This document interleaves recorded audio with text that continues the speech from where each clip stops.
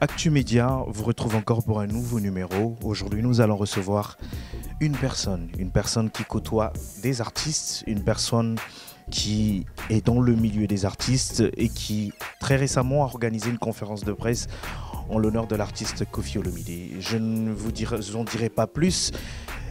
Nous allons le suivre tout à l'heure et vous découvrirez pas mal de choses, pas mal d'informations, une grande actualité et pourquoi pas des projets en vue. On se dit à tout à l'heure. Sans plus tarder, je vous présente notre invité qui n'est autre que monsieur Henri Paul. Bonjour Henri Paul. Oui, bonjour. Alors, Henri Paul a organisé tout récemment une conférence de presse euh, de l'artiste Kofi Olomide. Est-ce qu'en quelques mots, Henri Paul sait nous expliquer un peu quel est le lien qu'il a avec l'artiste Kofi Olomide?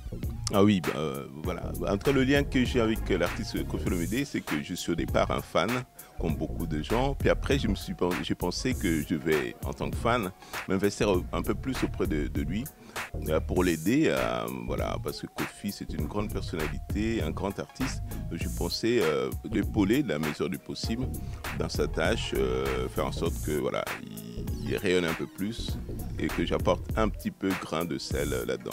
Je distribue Kofi dans le Benelux euh, et, donc bah, voilà, j'accompagne certains autres aussi, mais je commence dans, ce, dans le mécénat. Donc euh, voilà, je demande qu'à aller plus loin, euh, plus loin. Je suis déjà bien entouré parce qu'avec Kofi Olomide, c'est déjà pas mal.